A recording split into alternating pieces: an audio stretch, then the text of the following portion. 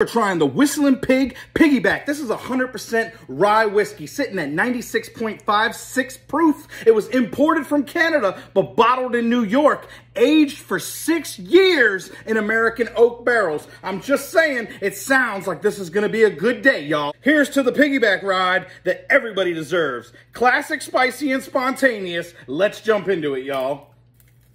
Mmm, A plus for packaging.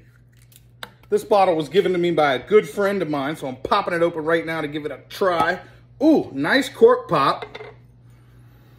Mmm, delicious smell. Beautiful color. Here's y'all.